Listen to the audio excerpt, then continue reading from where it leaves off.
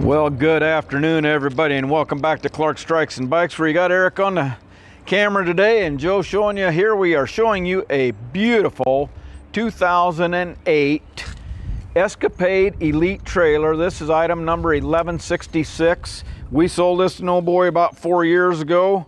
Uh, pulled it a couple times behind his trike, and he says they're just not going on the long trips; they're just doing day trips. So I said, Kurt, bring it in. It is a super nice unit, folks. Uh, like I say, a used Escapade trailer. We built one of these today, and you'd probably be looking at right at $5,000 to build this, and you can buy this considerably cheaper. Eric, show them them lights back there. We got the uh, little machine hooked up there, and we're gonna we're gonna turn on the. You want some brake lights, Eric? Yeah, hit them. Okay. All right. Brake lights, right turn. All right. Right turn. I don't know. We got enough load to. That's to the left side. okay, we got enough load to la- uh, to flash it, do we?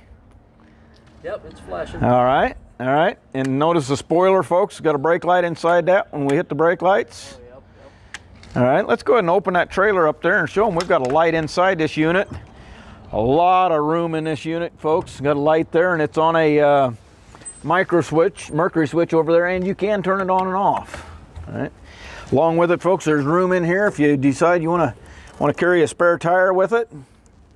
We don't get spare tires generally. You can pick them up at your local farm store quite a bit cheaper and you get them from the factory. Got room over here. Got little luggage, little compartments on the side here. Here's an air pump because you've got air shocks on this thing. These the beauty of these things. They just float down the highway. They just just float. They've added the garment hooks here. Show them up in here, because you can get a garment bag and put up in here and carry your suit and stuff in. And of course, got the little pockets here. Near I, folks, I can't say enough about these trailers. I pull one just like it myself. Just a nice, nice little trailer.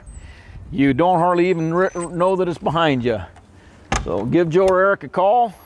Come down here and take a look at this unit. Let's get her wired up for your bike and, and get on down the road. Thank you, folks. Have a great day, and thanks for watching the video.